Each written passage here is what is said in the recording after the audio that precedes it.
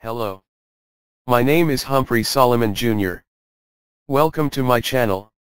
Our today's video presentation is about writing a rational expression as a sum of a polynomial and partial fractions.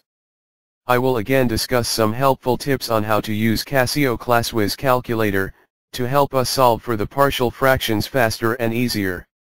Before we continue, please watch my other tutorials about partial fraction decomposition, and please subscribe to my channel, thank you so much. Now, let's write the following rational expression as a sum of a polynomial and partial fractions, the quantity 2x raised to 4, plus x cubed, minus 10x squared, minus 4x, plus 15, over the quantity, x cubed, minus x squared, minus 2x, plus 2. You can observe that the degree of the numerator is bigger than the degree of the denominator. So, we need to divide the numerator by the denominator first. We can use long division or synthetic division here. We will divide the first term inside, by the first term outside, to get, 2x. And then, we will multiply all the terms outside by 2x, to get, 2x raised to 4, minus 2x cubed, minus 4x squared, plus 4x. Now we will subtract, to do that, we need to change the signs and then perform addition. We will get, 3x cubed, minus 6x squared, minus 8x, plus 15. We need to repeat the process again and divide 3x cubed by x cubed, to get, 3. And then, we will multiply all the terms outside by 3, to get, 3x cubed, minus 3x squared, minus 6x, plus 6. Now we will subtract, to do that, we need to change the signs and then perform addition. We will get, negative 3x squared, minus 2x, plus 9. This is our remainder. We now have our polynomial and rational expression. But we are not yet done. We still need to find the partial fractions for the rational expression below. Our next move now is to write the denominator in factored form. So we will use the Casio ClassWiz calculator to help us find the factors for our denominator.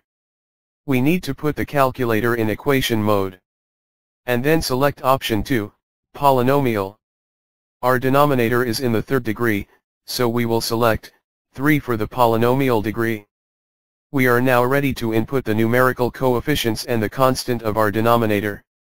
We can follow the string of keys here. And then, if we press the equals key for three times, we can see the three values of x. Notice that the third value of x is, x equals 1. This means x minus 1 is a factor. Take note that, the first two values of x are irrational numbers. The product of the factors from the irrational values of x, will give us a quadratic factor. And we can get this by synthetic division. We know that x equals 1.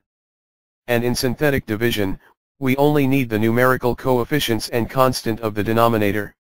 After we write the numerical coefficients and constant, we can now start by bringing down 1.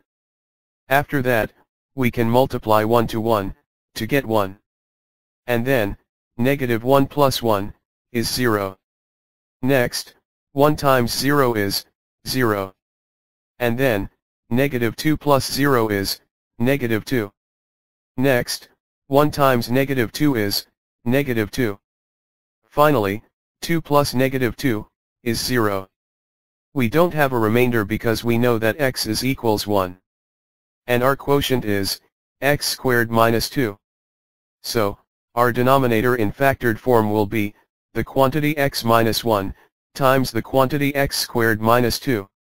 Now that we have written our denominator in factored form, we can write a partial fraction for each factor. Since, x squared minus 2 is a quadratic factor, we need to write its numerator as a polynomial in the first degree. This rule will always apply to quadratic factors in partial fraction decomposition. We will use the variables a, b and c, in the numerators, since we are still in the process of finding the partial fractions, and we don't know those values yet. After that, we will combine these partial fractions into a single rational expression.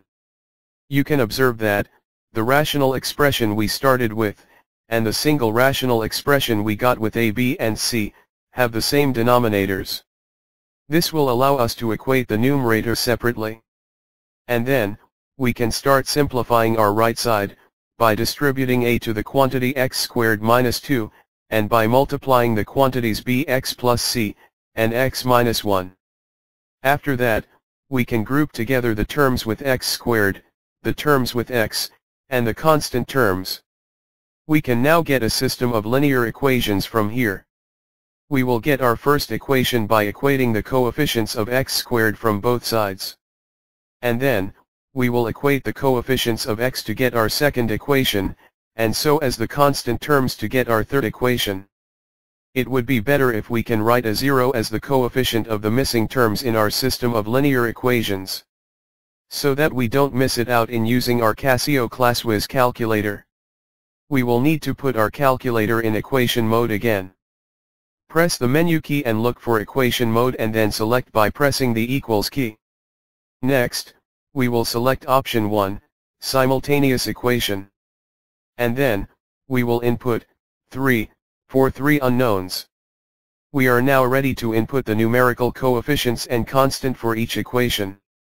You can follow the string of keys for equation 1, equation 2, and equation 3. By pressing the equals key, you can see the values of x, y, and z, consecutively. The value of x corresponds to the value of a, the value of y corresponds to the value of b, and the value of z corresponds to the value of c. We now have the values of a, b and c, a equals negative 4, b equals 1, and c equals negative 1. Please make sure that you don't switch the values of a, b and c, or else, your answer will be inaccurate. Our final answer, the sum of a polynomial and partial fractions is 2x plus 3, minus 4 over the quantity, x minus 1, plus the quantity x minus 1, over the quantity x squared minus 2. I hope this video helped you learn how to write a rational expression as a sum of a polynomial and partial fractions. This is only possible if the degree of the numerator is bigger than the degree of the denominator. You can also watch the other cases of partial fraction decomposition from my channel. Thanks for watching this video. Don't forget to hit the like, share, and subscribe buttons below. Also, click the bell icon to get notified when I upload my next videos. Always remember, sharing is caring. Have a nice day. Hello.